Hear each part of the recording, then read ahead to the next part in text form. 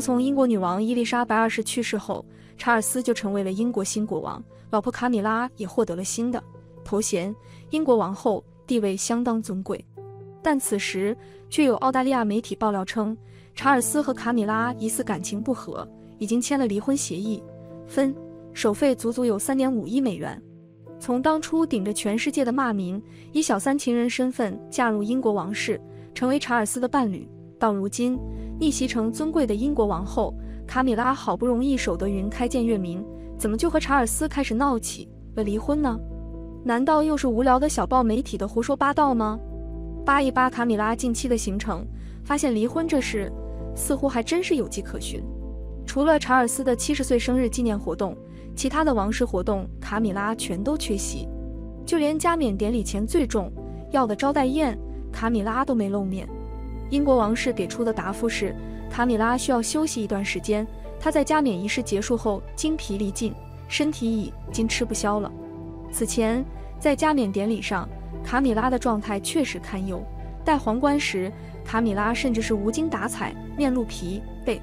在得知卡米拉身体不舒服后，卡米拉的前夫安德鲁和两人的儿子汤姆前去照顾她，而丈夫查尔斯却并没有及时过来看望卡米拉。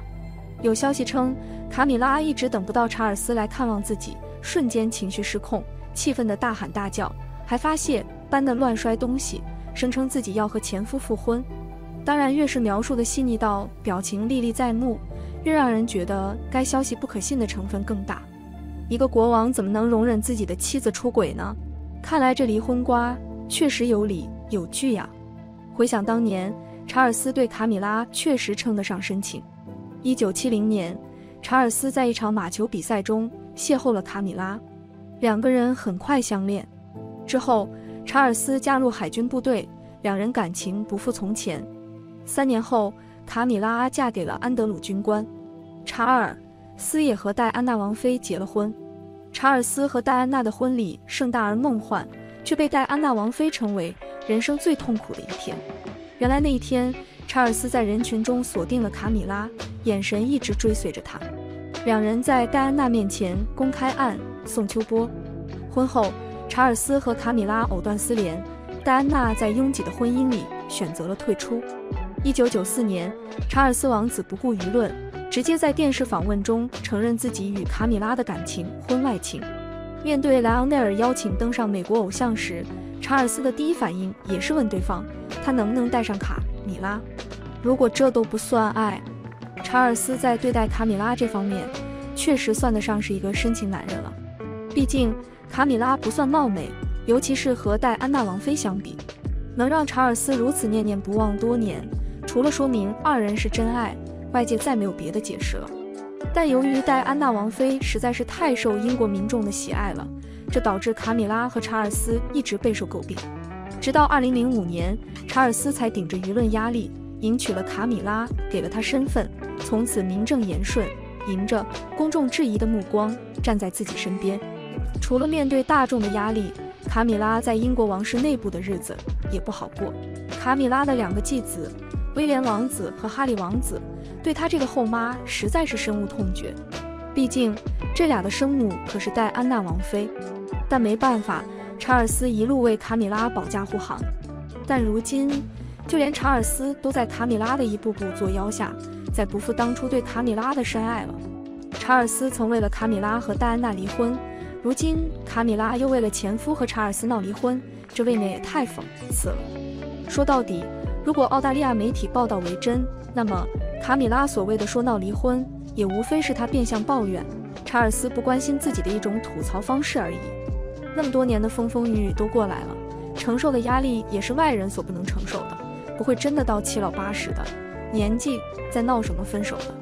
在经历了五月份的西敏寺大教堂加冕，还有六月份苏格兰的二次加冕仪式，英国王后的头衔已经被卡米拉稳稳拿住了。说来，她还真是很幸运，与查尔斯初恋分手多年后，第三者上位，和查尔斯也没有亲生儿女，愣是熬到女王去世，以七十多岁的高龄登上王后宝座。不管今后卡米拉如何盖棺定论，但她的传奇经历绝对是英国王室历史上浓墨重彩的一笔。如今贵为全英国最尊贵的女人，卡米拉也迎来了自己加冕后的头一个生日。出生于1947年7月17日的她，正式迈入了76岁高龄。寻常人家这个年纪的老奶奶早就退休，过起了含饴弄孙的悠闲生活。但俗话说，欲戴其冠，必承其重。作为王后的卡米拉，她可没有办法这么早就退休，他的时间必须全部都跟随王室公务而安排。与卡米拉结婚十八年，查尔斯对于这位妻子可谓的全身心的投入爱恋。为了让卡米拉高兴，查尔斯此前点头答应，加冕礼上让卡米拉和前夫的孙儿们担任他的提袍侍童。为了让卡米拉满意，查尔斯还同意邀请他的前夫安德鲁充当娘家人来观看典礼。在卡米拉七十六岁生日来临之际，查尔斯早早地命令英国王室的社交平台账号转发了王后的照片，并且还深情款款地写下了话语，祝福卡米拉王后今天有一个非常快乐的生日。平日里走到哪里都是 C 位的查尔斯，还很知趣的晒照，全都是卡米拉本尊，三张全都是寿星王后咧开嘴乐呵呵的照片。这份卖力吆喝为爱妻庆祝的模样，也能看出在查尔斯国王是真的。把卡米拉时刻记在心里。除了查尔斯国王之外，王储夫妇威廉和凯特也没有忘记卡米拉的生日。威廉王子与继母卡米拉的关系也是一直都众说纷纭。按照哈里王子自传里的说法，威廉并不喜欢卡米拉给他庆祝生日，想来更多也是看在父亲查尔斯国王的面子上。威廉凯特的祝福话语很中规中矩，选用的照片也是卡米拉公务时的留影。可即便查尔斯如此给卡米拉祝贺，但在王后心中却是另一番滋味。她的心思更惦记的还是她的前夫和儿女们。根据英国媒体报道，近来卡米拉与她的前夫安德鲁来往频繁，并且还时不时的去他家里的庄园做客。两人毕竟当了几十年的夫妻，还有一双共同的儿女。安德鲁与她离婚后，两人关系也一直都很好。卡米拉是打心底把安德鲁看成了娘家亲人。而更让卡米拉揪心的，还有她的一双儿女汤姆和劳拉。此前王后加冕礼上，汤姆与劳拉的孩子们都当了奶奶的提袍侍童。